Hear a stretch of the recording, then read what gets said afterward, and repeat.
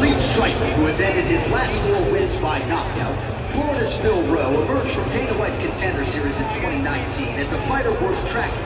He's kept that reputation intact thanks to his stoppage wins over Orion Cosce, Jason Witt, and Niko Price. And tonight he looks to end matters early once again when he faces Australia's Jake Matthews. Still a young gun a couple months before turning 30, but one who has matured into a veteran standout at welterweight. Matthews has grown up on the biggest stage in mixed martial arts, and recent form suggests his best days are still to come. See what he has from the Fresh Prince here in Brick City. Coming up next, it'll be Phil the Fresh Prince Rowe versus Jake the Celtic Kid Matthews. Hey, tell RSI, brother, that's me. Been doing this thing for a time, now the people know me as the best MC. These cats wanna rap, but they cap like they're beaming off the MD. Mate, I can never be fake, no way, I'm a stop, I'm a grind till I'm down six feet.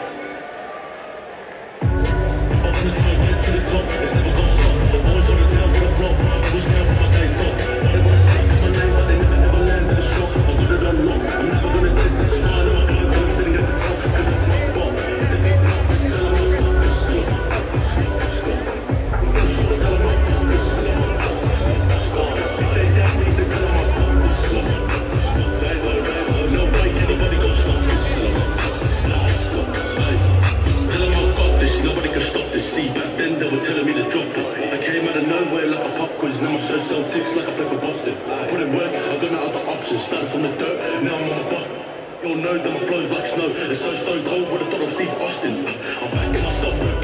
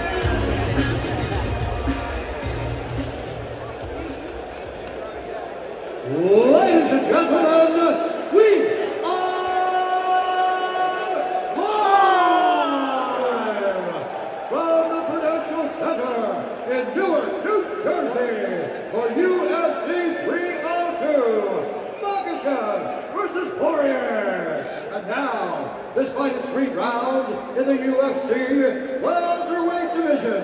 Introducing first, fighting out of the blue corner, a freestyle fighter holding a professional record, 19 wins, 7 losses. He stands 5 feet 11 and 1 half inches tall, weighing in at 170 pounds. Fighting out of Epping, Victoria, Australia, Jake the Celtic Kid Matthews.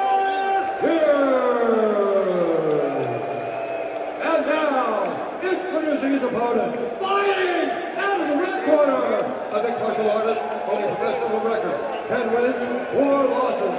He stands 6 feet 3 inches tall, weighing in at 171 pounds. Fighting out of Orlando, Florida, Phil the Fresh Prince Rowe.